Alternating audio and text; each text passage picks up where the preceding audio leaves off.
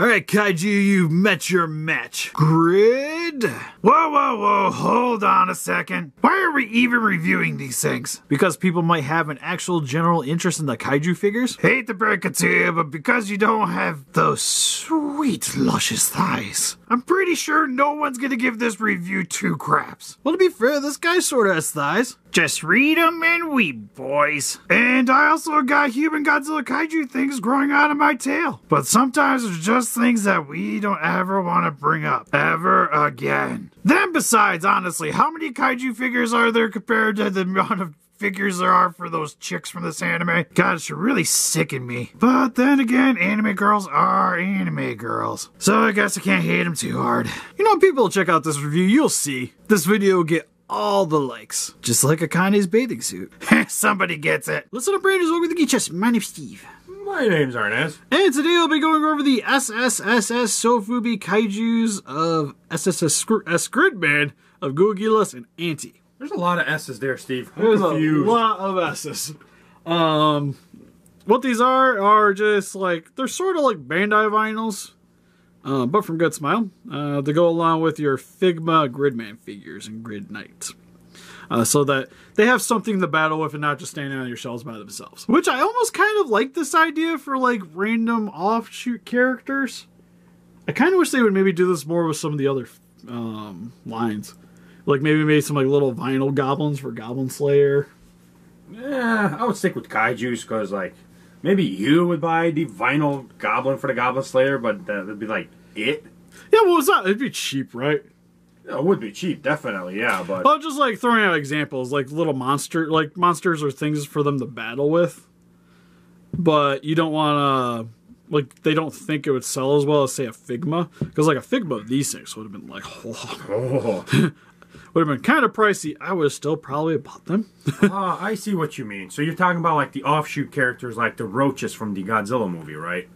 yeah, If like you- that, or even like, um, If I'm you- trying to think of Figmas like I was, like make the frogs from Konosuba. Yeah, like the frogs that eat the girls like that would have been great. Like something like stuff like that. Or maybe like the um oh whatever like the dilophosaurus lizard looking things that are chasing Oh, after can him. you make a frog where like one of the Konosuba figures would actually fit in there? right? Would have been great. Please buy our ideas from us. But anyways uh, again these are from the anime SSSS Gridman uh this one's Gogilas, this one's Anti. Uh, this one's the one that eventually becomes Grid Knight in the anime. So, uh, well, I just probably spoiled things for you guys if you haven't actually watched the anime. alert. But if you guys are watching this video, you probably had some, like, you've seen the anime. At least I hope. Otherwise, why would you watch this? it's a great anime, though. Still go watch it. Please and thank you. Um, but, anyways, uh, to get in these guys, so for, without further ado, further packaging. Uh, what you would have got when you got these, they came in little baggies with these little cards. Uh, this one's torn, but I had I do have one with still with the bag. But this one's the one that's sitting here right now. But you got Gridman, Gugilas in the front. On the back, it's got Akane making the kaiju. And then not much else stuff there. Just some Yiga Mumbo Jumbo. That's No, pretty much lot- it. Not a lot of people liked her. I thought she was a good character. Akane? Yeah. Yeah, I thought she was fine. So what if she stabbed him? Oh wait, spoiler free. I'm sorry, you guys. God bless you. yeah, but it's like, which girl do you pick though? Is it do you pick Rika or Akane? Oh, Akane all the way. I'm torn because Rika, I like my girls to be a little bad. uh, like Akane's more like when I think of anime character like designs that I like, I gravitate towards her, but I kind of like Rika. Why? I don't know. I think it's probably just because I'm pretty sure she was never wearing pants. Good point, But anyways, since uh, they're out of their little plastic prisons, let's get into them. So I guess we'll start with Gugilas because uh, this was the first kaiju that How do you say his name, Steve? Ghoulgilas. Gugilas. Ghoulgilas. That sounds weird. Uh, it, it's definitely a, a name to get used to, for sure. But this is the first kaiju he fought in the anime, so figure this would be the nice one to go over. Uh, but for the overall paint job and detailing for the figure, this one I feel like is actually probably the best one out of the pair. You think so? Yeah, well, it's just like this is how he looked in the anime. Like you could have put more joints on it, but it it's what it looked like. I know it did, but still, it's kind of like He's a, he's a goofy looking kaiju Yeah, that's my issue. for sure because you got like the elongated neck here. It's got the little dragon like face with the spiraling horns on the top section with some metallic silver. But overall, the top of the face is done in this blue vinyl. And then you get like the mixing vinyl on the back here, which I can't tell if it's painted or if it's vinyl. Whatever it is, it's not right. I guess the blue, eh, I guess the blue's painted on, and it's like a pink vinyl for this section here. Then you get some metallic silver here for the teeth. The nose bit's red with some. Eh, It's like a reddish orange for the eyes, and it's pretty much the same coloring for the tongue and the inside of the mouth here. Uh, moving down the neck into the giant bulbous shoulder here, uh, you get more of the spikes in the back here, which got some actually like little minute detailing inside of them. Which might have been nice to maybe see like a little bit of like a black paint to help show out the detailing there. Uh, but for the most part, it's still got a little bit of shading going on the top section of the head, which I do appreciate. You got these little orange orbs on the shoulders here. You know, first time I saw that monster, I thought those were like his eyes. Kind of right. Like this could have almost been the body, and this Yeah. would have been like almost like an elephant thing with the trunk and then the head on the front of it. That might have been kind of cool. And that's kind of almost like the look this thing's giving off. Because this almost look to me reminds this could have been a tokusatsu. Definitely. Because the guy would have been here and couldn't have been able to look out of the little domes, and then it just would been kind of doing its own thing on the front. Uh, but you get the same kind of twirling horns here coming out the sides of the shoulders here. Then more of the red spiky protrusions, which have a lot of nice detailing on each of the spikes as well. Which again, black wash would have done wonders. Uh, but some of the blue kind of intrudes on the spikes here, which I'm not as big of a fan of. Is it supposed to be like that? I don't remember. Uh, in the anime, I'm pretty sure this should have been like all red here. Yeah, Like, right. It would have been right here too. But to make the paint job a little bit more simpler, I guess. Easier. Yeah, it, it bleeds in a little bit on the spikes, which sucks a little bit, but it's not too bad. Uh, but you can see the same blue stripes coming down the arms here, which primarily the rest of the kaiju is done in a pink. But you get that little metallic silver here, like you'd see on the old Imperial Godzillas there. Uh, same with metallic silver here for the claws. It's got three claws on its hands, three toes. Uh, only copyright information on the bottom of its feet, Legal mumbo jumbo. pretty much. And some nice detailing on the undersection of the tummy, which is pretty much what you get for the undersection of the neck and the stomach as well. Uh, which is very typical kaiju with a tail. Usually has this kind of detailing there. Why is his tail silver? The tip of it. I don't know. I was gonna say maybe it's like a horn, but it almost looks like little bits of like Like a drill or something? Yeah, it's like almost like a drill, but it, to me, it almost looks like hair coming off the back of here too. I'm not really sure what's going on there, but you do get some more spikes coming along the tail here, and then he's also got a really nice little bumpy texture going on for the top sections of his body. Uh, for the articulation, head can rotate all the way around. Other than the face, arms can rotate all the way around as well. Figure like this, I wouldn't expect any good articulation on it. Yeah, but you are paying like, uh, he's like 35, I think. He's like 30, 35 for this one. Uh, legs can go forward and back though. And the tail, okay, nothing really much at the tail. And then we got Auntie, or Auntie. I like calling him Auntie, Auntie though. Mama. I don't know why. It's just like the way like they pronounce it in the anime. Always sounded like Auntie to me. Uh, but detailing of this guy definitely has a lot more going on in terms of the paint job, with a lot of purples. You got some gold here for the little nubs here, some metallic silver here for the intersectioning, which he kind of almost gives off a very Zetton vibe. yeah, that's what he reminds me of. That's what he looks like to me, at least. It's like a super duper armored Zetton, uh, but with like the Cycloptean helmets on the front section here with a little orb thing going on on the helmet with some claw, or, I don't know, tusk coming along the side of his face.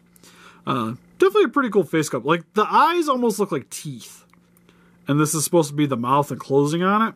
Like you're kind of confused about it. It's a weird design, but I almost, uh, I definitely appreciate it. And then you get the lifting section here on the back here, which kind of has like a very Guyver feel to it. Like it's almost like an organic separation there. And you also see the same thing going on on the shoulders here and on the intersectionings of the armor bits. And then for the shoulders, you get some more of the gold orbs, little shoulder pad here. Claws are done in a gloss black, which only go up a certain section of his forearm and then it kind of fades off into the purple here. Uh, the back doesn't really got too much detailing going on here in terms of the paint job, but still really nice sculpting lines here for the rest of the Looks- figure. It looks pretty good. Yeah, the only thing I don't really like is this giant seam line on the stomach section here. Is not my favorite. See, that's like one of those things like where I would be okay with no articulation on there just to make it look better. Kinda like it's not bad, but I don't know. Especially when you're looking at it from the back, it's definitely the most noticeable thing. But it's a vinyl. It's kind of like you win some, you lose some. I almost wish they would have maybe tried to hit it a little bit better. Like maybe had the legs be its own molded section, and then they could have just kind of like hid the mold line with in between the armor plating here instead of just a hard separation there. But then again, I don't really know how to make a vinyl, so it might have to be there because it has to be there. But then again, there's also no leg articulation. So it would have been nice to maybe have like again a separation there instead of at the stomach region. But moving down the legs here, you get some more gold on the front of the thigh armor. Then some more metallic silver here for the intersection of the armor, and then gloss black for his feet. Which you get three little claws on the back and only two on the front. Wah, wah, wah. It's a little strange. Um, in terms of like anime accurateness, I feel like this one's definitely worse than Googulus. Which is so? yeah, like I said, Googulus pretty much like it looks like you just pulled it out of the anime Yeah, and then just added some seam lines. Well, this one, I feel like he should have been bulkier and like the way the armor sits, it probably should have been more outstretched. And this guy probably would have been much better off as an actual action figure instead of a vinyl. But it still ain't bad. It's not bad at all. Like standing next to Grid Knight, I don't think he's super duper uh, Off. off. But for his articulation, nothing at the head. You only really get arm rotation, rotation at the stomach, and that's pretty much it. Which kind of sucks because he's actually more expensive than Googulus too. Uh, actually, about like ten bucks more expensive on average. See, I would rather have his like arms and his uh, shoulders move over his tummy. Yeah, it's almost like at that point you could have maybe just made. Well, I know you can't make this one solid figure. Like it couldn't have been that because the way vinyl works. Yeah. But like, I feel like if they could have separated here, I think it would have been great, and then you would have had some leg articulation instead of the waist.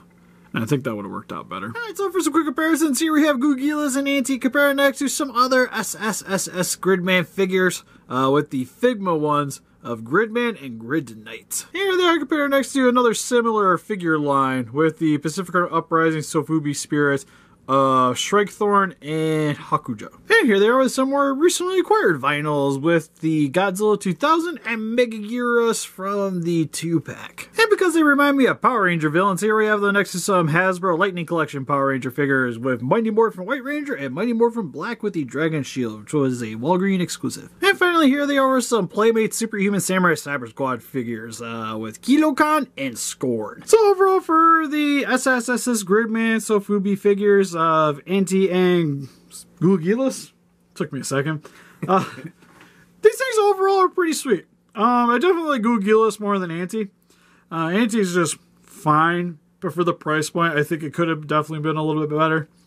Uh, but if you guys are into Gridman and you're buying the Figmas anyways, I still think these are good enough, especially Gugilas, to pick up with those figures. Overall, I don't think they're that bad, honestly. I mean, I would go for the uh, pink monster than the purple one, but you know, Yeah, especially for the price point. yeah. Because for the most part, like if you're buying Grid Knight, I don't feel like you need Anti. And then, uh, It's Auntie Mama. God, get it right. sorry. But Gugilas is like clearly a monster that he fights. But Gugilas is definitely the one that uh, I feel like as a standalone figure is easily the best one to get between the two. And it's, it helps being the most cheapest one to pick up. Um, now I just kind of hope that they keep making some of these vinyls. Like I want that creepy kaiju that they fight when um, Grid Knight first shows up. Is that why you bought these ones to support it, Steve, to make the ones you want? Yeah, because you're like, oh man, can you imagine them making the giant land monster from the the the beach episode. There's always a beach episode. right, and I appreciate it. but what did you guys think? Have you guys picked up these vinyls? What's your favorite Gridman kaiju, or is Ultraman just smarter thing? Please let us know in the comments. We also have an Instagram, Patreon, Pinterest, and Facebook. You guys like to keep up to date with channel and donate? We greatly appreciate it. And help us defeat those kaijus by hitting that like button, subscribe, become a ranger today. We'll see you guys in the next video. Bye bye. Bye.